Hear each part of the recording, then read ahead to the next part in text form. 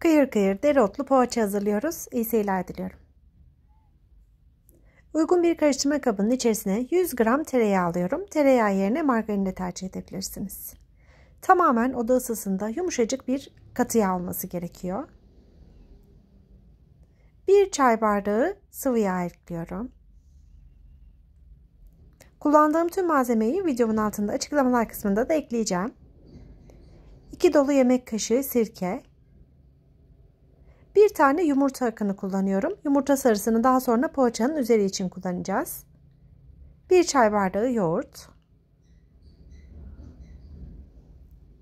Bir tatlı kaşığı kadar tuz ilavesini yapalım. Ee, içerisinde peynir kullanacaksanız lütfen tuz miktarını azaltınız. Bir dolu yemek kaşığı da şeker ilavesini yaptıktan sonra hemen şöyle spatula yardımıyla karıştırmak istiyorum.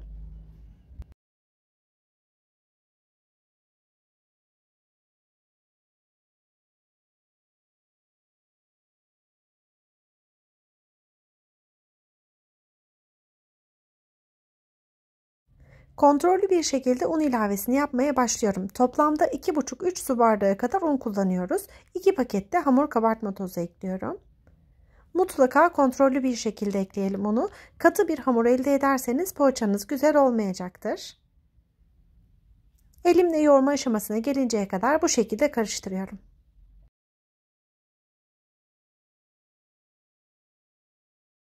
Yarım demet ince ince doğramış olduğum dereotunu ekliyorum.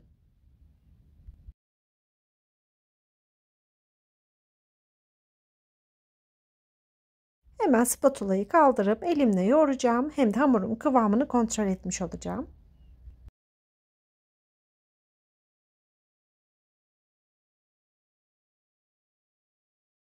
Mutlaka kontrollü bir şekilde ekleyelim. Bakın bu şekilde ele yapışan bir hamur olduğu için biraz daha un ilavesini yapıyorum. Hemen hamurumu toparlıyorum. Çok kısa bir süre içerisinde toparlanıyor. E, toparlandığı zaman daha fazla yoğurmaya devam etmeyelim. Şöyle yumuşacık bir hamur elde ettik.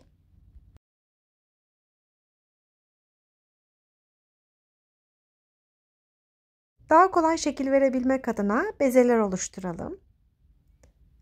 Şöyle cevizden biraz daha büyük olacak şekilde bezeler oluşturuyorum. Bu ölçüden 19-20 tane poğaça elde edebilirsiniz. Ben içerisi için beyaz peynir kullanacağım. Siz herhangi bir peynir kullanabilirsiniz fakat erimeyen bir peynir olursa çok daha güzel olacaktır. Avucumun içi ve parmaklarımla şöyle açtırdıktan sonra içerisine peynir koyuyorum ve bu şekilde kapatıyorum. Sizlerle ilk defa bu video ile karşılaşıyorsak Mucit Anne kanalına abone olur. Bildirim sesini açarsanız çok mutlu olurum. Hepimizin evinde olan malzemelerle pratik fikirler, tarifler vermeye çalışıyorum. Videolarımı, tariflerimi sevdiğiniz arkadaşlarınızla paylaşabilirsiniz.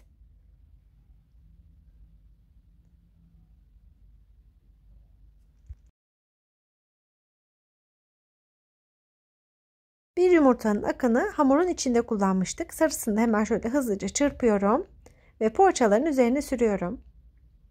180 derece alt üst ayarlı fırında 20-25 dakikada pişirdim. Siz lütfen kendi fırın ayarınıza göre dikkate alınız. Altı üzeri güzelce kızarıncaya kadar pişirin. Şöyle hemen göstermek istiyorum sizlere. Çok ama çok güzel görünüyor. Dışı kıyır kıyır, içi yumuşacık pastane poğaçasını hazırlamak işte bu kadar kolay. Hepimizin evinde olan malzemelerle pratik fikirler, tarifler vermeye çalışıyorum. Kanalıma abone olmayı lütfen unutmayınız. Hemen şöyle iç dokusunu da sizlerle paylaşıyorum. Deneyecek olanlara kolay gelsin. Pratik tariflerde görüşmek üzere. Allah'a emanet olun. Hoşçakalın.